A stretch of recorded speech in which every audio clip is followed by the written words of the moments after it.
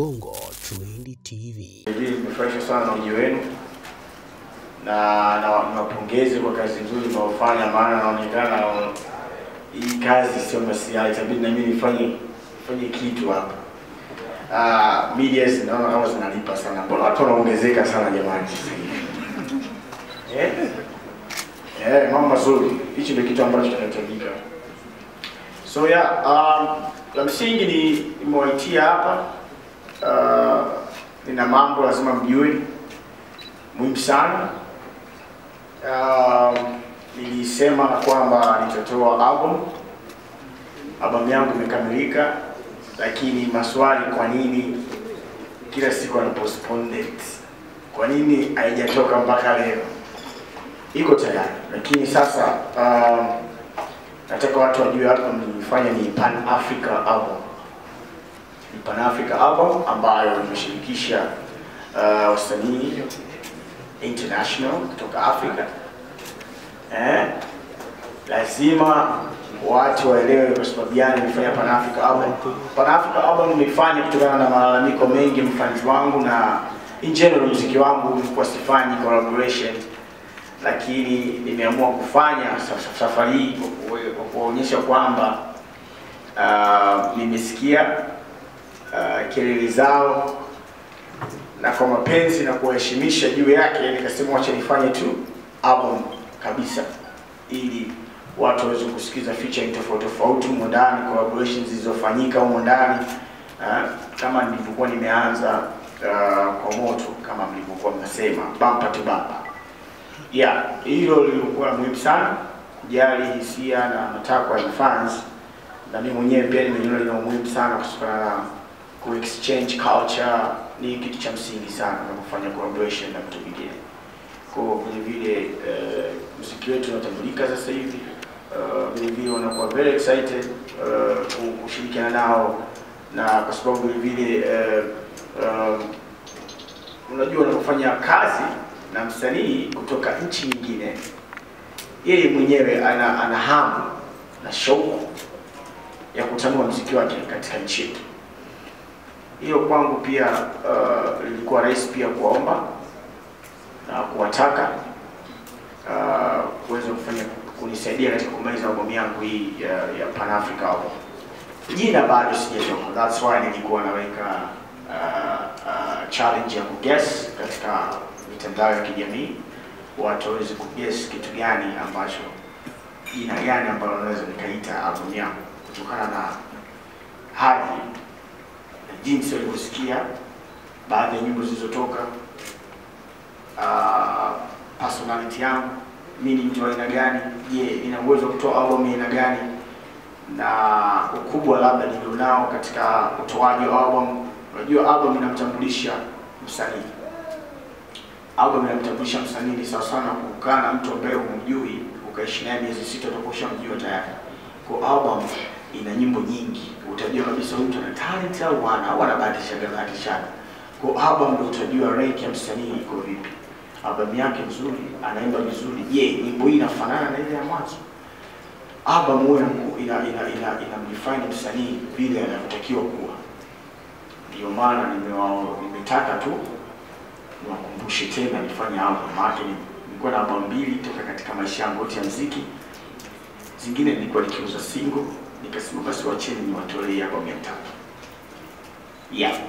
So um, kuna hilo ambao kuna nataka niwajuze. Uh, vile vile nashirikiana na Ziki Media.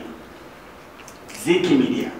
Kings Music inashirikiana na Ziki Media kufanya katika hii kufanya album katika uh, kwa, kwa, kwa, sasa hivi. Kwa hivyo uh, msije mkashangaa kwa sababu gani Ziki anaapia katika kila nyimbo ya Kiba na nini na nini, hapana. Uh, Ziki wali walitaka kufanya kazi na mimi, lakini tukaja na idea ya kufanya album, kwa sababu basi sawa tufanye album, tutakuwa mzuka zaidi. Uh, yeah, kwa hivyo Ziki tunashirikiana, ndio maana unapoona Kings Music Ziki kwa pembeni, basi ujue tuko pamoja, kuna collaborate, ni partnership ni partnership ambayo tumeingia kufanya nao kazi ya album ya Alikiba. So yeah. Um,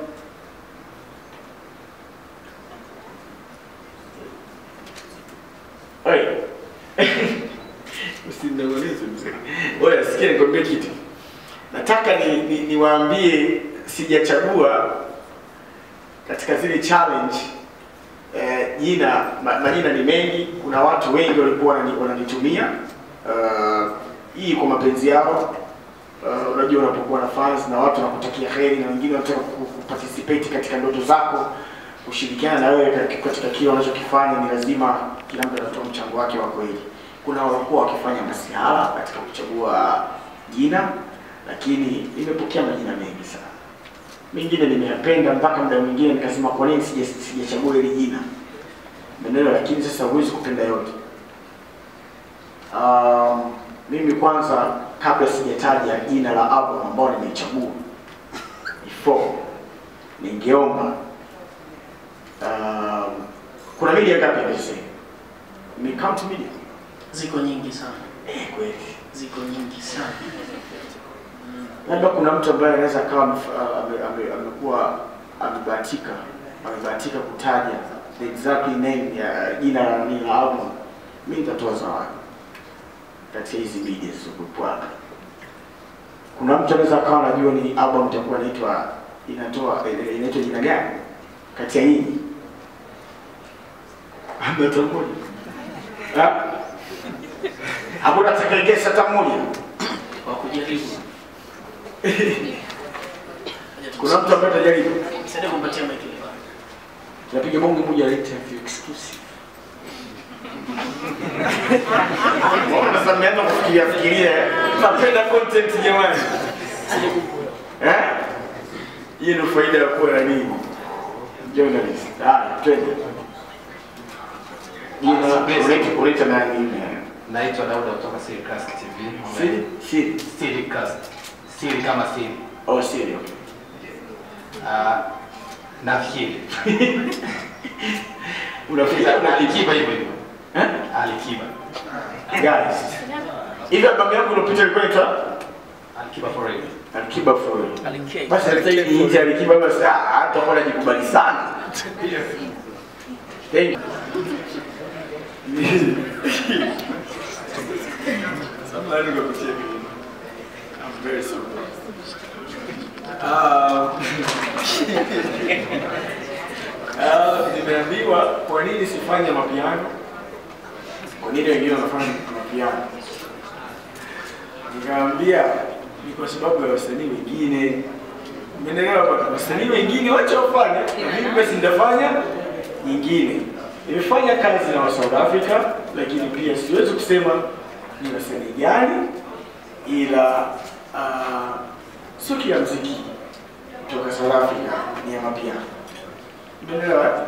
Lakini ni mziki ambao unafanya vizuri na watu watu walikuwa wanapenda umepata umepata mafans wengi sana, na huwezi kumkataza mtu kupenda mziki kwa sababu ni kosa la jinai.